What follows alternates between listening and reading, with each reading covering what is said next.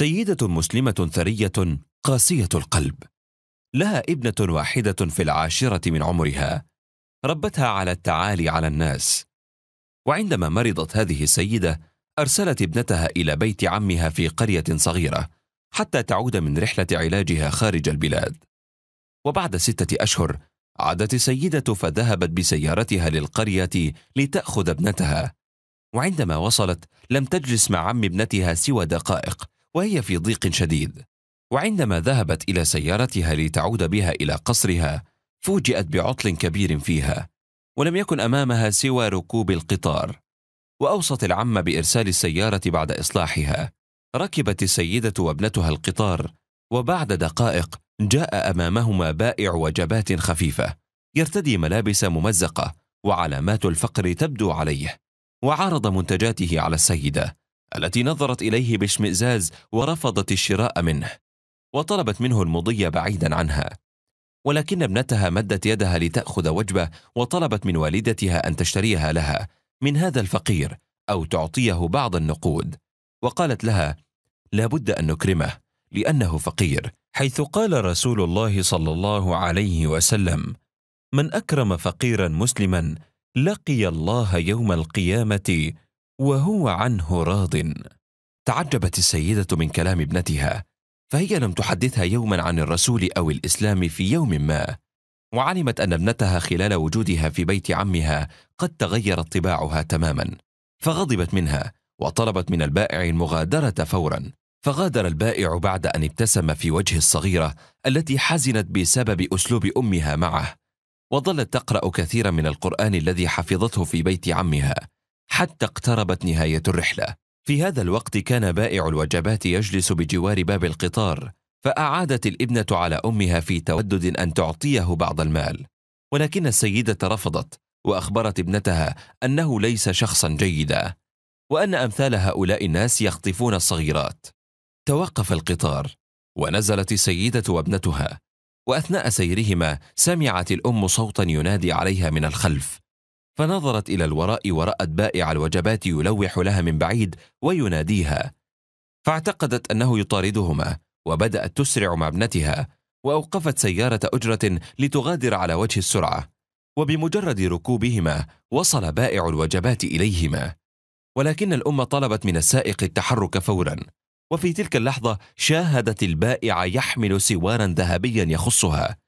فتوقفت ونظرت إلى البائع وأخبرته أن هذا السوار لابنتها وكانت المفاجأة. حين أخبرها البائع أن ابنتها أعطته السوار وهي تنزل من القطار. لذلك كان يجري خلفهما كي يعيده لتلك الابنة الرقيقة. وقبل أن يغادر سحب حزمة من وجباته وقال للسيدة تلك الوجبة للفتاة. بكت السيدة من تأثرها واعتذرت البائع الذي طلب منها بألا تأخذ الناس بالظاهر. فالجوهر الداخلي هو الأهم والأعمق. وعندما عادت الأم لقصرها علمت أن ابنتها تعرف الكثير عن الإسلام وتحفظ الكثير من القرآن والأحاديث وأنها لم تترك فرضا أثناء وجودها في بيت عمها. فطلبت من ابنتها أن تعلمها كل ما تعلمته وودعت قسوة قلبها وغفلتها نهائيا. ومن يعمل سوءا أو يظلم نفسه ثم يستغفر الله يجد الله غفورا رحيما ومن يكسب إثما فإنما يكسبه على نفسه وكان الله عليما حكيما ومن يكسب خطيئة أو إثما ثم يرم به بريئا فقد احتمل بهتانا وإثما مبينا. هذه قصة حقيقية يحكيها صاحبها فيقول عندما كان عمري ست سنوات وقبل أن أعي الحياة وأدركها كما ينبغي صحوت على مأساة عائلية. لقد طلق والدي أمي وكل منهما تزوج فأصبحت تائها ضائعا بين الاثنين. وكما يقولون أمران أحلاهما مر فعند أبي كنت أقابل بمكر زوجته.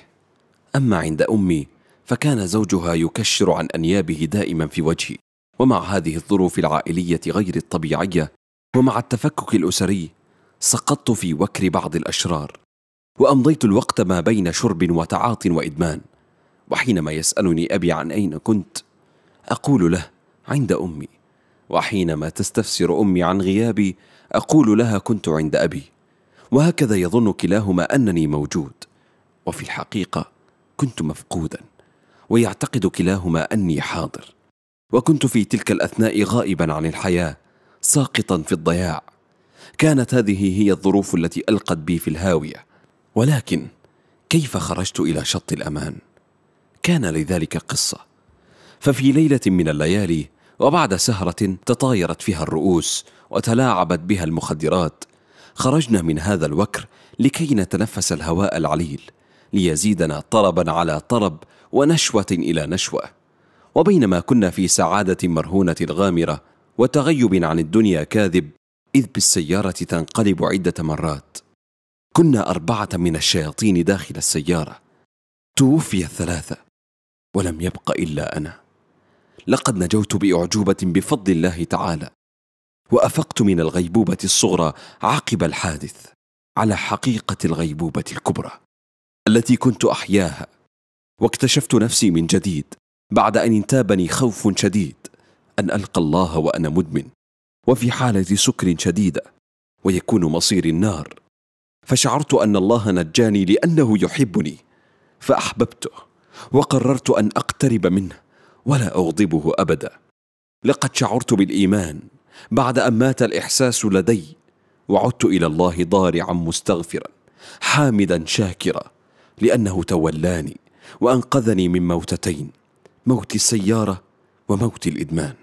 فخرجت من المستشفى إلى المسجد مباشرة بعد أن قطعت كل صلتي بالماضي. وعندما دخلت المسجد وصاحبت القرآن الكريم وجدت متعة ولذة حقيقية وليست وهمية مثل التي كنت أعيشها وأنا مدمن وأصبح القرآن الكريم أوفى صديق لي يلازمني وألازمه. يا أيها الذين آمنوا اتقوا الله ولتنظر نفس ما قدمت لغد واتقوا الله إن الله خبير بما تعملون ولا تكونوا كالذين نسوا الله فأنساهم أنفسهم أولئك هم الفاسقون. لا يستوي أصحاب النار وأصحاب الجنة. أصحاب الجنة هم الفائزون. لو أنزلنا هذا القرآن على جبل لرأيته خاشعا متصدعا من خشية الله وتلك الأمثال نضربها للناس لعلهم يتفكرون